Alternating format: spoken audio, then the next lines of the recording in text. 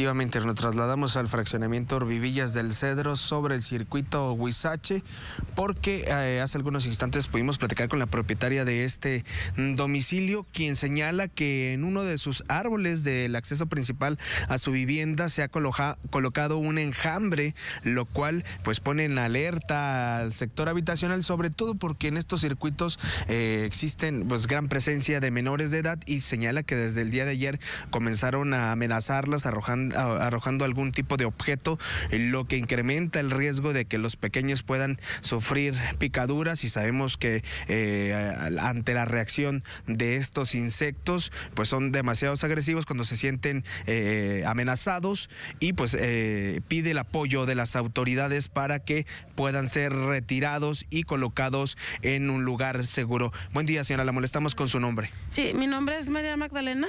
Platíquenos la situación de, cómo se percata del enjambre. Bueno, este, nosotros llegábamos ya casi ya en la noche de trabajar y este no nos habíamos dado cuenta, sino que salimos a la tienda y se nos hizo raro, o sea, ver tanto ruidillo y me acerqué y eran abejas, pero como andaban aquí los niños afuera jugando, empezaron a aventarles piedras, palos y se empezaron a alborotar más y se empezaron a meter a la casa. Este, pues ya por lo que hice fue correrlos acá quien para su casa y nos metimos y ya no pudimos este, salir en la noche, ya no pudimos salir porque andaban este, vueltas locas, sí, andaban vueltas locas. ¿Viene el apoyo de alguna autoridad para su retiro? Pues sí, no sé qué se puede hacer en este caso. Yo nunca había tenido abejas. Este, no sé qué. Yo tenía pensado ya hasta cortar el árbol para poderlas este, quitar, porque pues tampoco matar no las puede uno matar. Así es.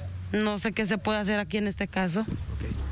Ángel, eh, no sé si mi compañero Cristian Ortega pueda virar la toma y podemos ver que prácticamente se están ya posicionando en esta parte del tronco de este limón. Otro grupo más de abejas está en la parte superior y bueno, eh, será el tiempo justo para que alguna asociación pues pueda contribuir y retirarla. Sabemos que hay coordinación con los cuerpos de rescate, pero a anteriores semanas eh, realizamos un reporte, pudimos platicar con Ulises Adame, quien ha conformado pues una organización con la intención de rescatar estos, estos insectos que son denominados uno de los más importantes del planeta, pero han detenido estas acciones de colaboración para rescatarlas debido a, a que no hay recursos para poderse trasladar. Ahora pedimos el apoyo a ver si las autoridades de Gómez Palacio o corporaciones de bomberos pueden acudir hasta el circuito Huizache y puedan retirarlas. La intención es evitar que estos insectos puedan ser exterminados reporte. Hasta el momento regreso contigo al estudio.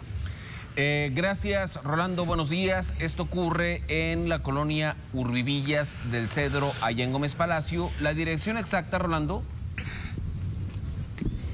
Sí, eh, la dirección es eh, Circuito Huizache, al exterior del domicilio 962.